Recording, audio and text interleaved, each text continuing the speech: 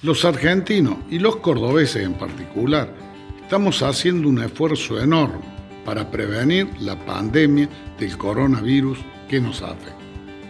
Como ustedes saben, en Córdoba haremos todo lo que esté a nuestro alcance para proteger del coronavirus a cada uno de los hijos de nuestra provincia, vivan donde vivan. Y quiero que nos quede bien claro a todos los cordobeses, pese a la crisis, y a la brutal baja de ingresos que sufren todas las provincias de nuestro país, Córdoba va a priorizar los recursos para la atención de la salud. Reitero, Córdoba va a priorizar los recursos para la atención de la salud de su pueblo.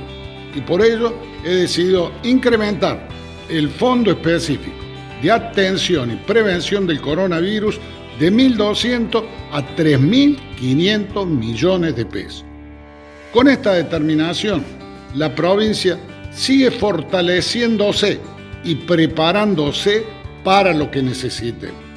Insisto, la salud de los cordobeses es nuestra prioridad.